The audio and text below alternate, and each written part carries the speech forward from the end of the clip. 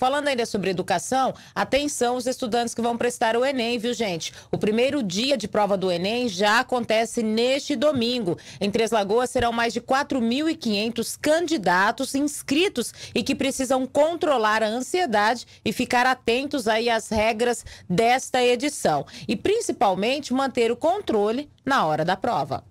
Lidar com a ansiedade às vésperas de encarar o Enem ficou ainda mais complicado neste ano, em meio à pandemia do novo coronavírus e a tantas incertezas. A prova se aproxima e o primeiro dia do exame já é neste domingo, dia 17. A recomendação é para que os estudantes descansem, alimentem-se bem e que separem com antecedência tudo o que vão precisar levar no dia do exame.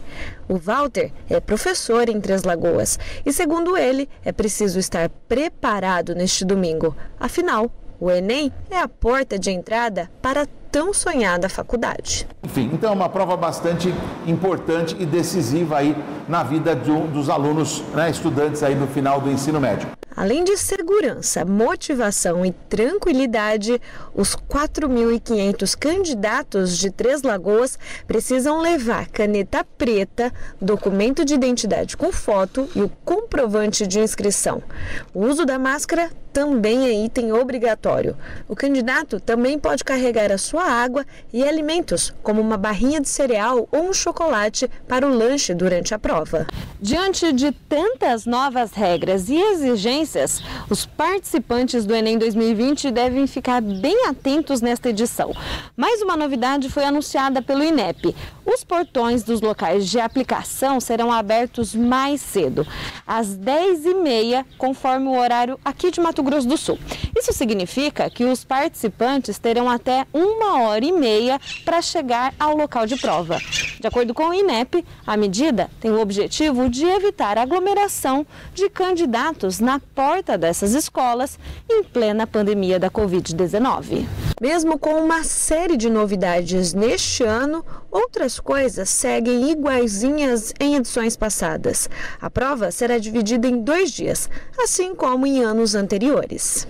Lembrando que as duas provas elas são divididas é, nesses dois dias de prova. No primeiro dia nós temos lá linguagens, códigos e suas tecnologias, ciências humanas e a redação. Redação extremamente importante aí. Hoje ela acaba valendo quase que metade da nota do Enem. E no segundo dia a prova contempla ciências de natureza e matemática. No primeiro dia cinco horas de prova, no segundo dia quatro horas e meia de prova. Para controlar a ansiedade, os professores destacam que não é hora de estudar conteúdo novo. O momento é de revisar e ficar atento aos noticiários. O Enem é uma prova de fôlego, é uma prova de dois dias, uma prova longa e é necessário que você organize esse tempo. Acompanhe os noticiários. As notícias de atualidades são muito importantes, são muito cobradas no Enem. E na hora da prova, também tem estratégias que é para não deixar o cansaço tomar conta. Primeiro, comece com as questões mais fáceis. Não hesite em pular questões.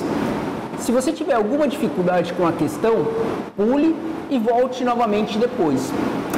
Alterne as matérias. Isso é importante para que você tenha um certo descanso. A prova é longa, então tem um tempo para você ir no banheiro, tem um tempo para você beber uma água ou para você é, comer aí uma barra de cereal ou um chocolate. Organize o seu tempo na prova, isso é importante.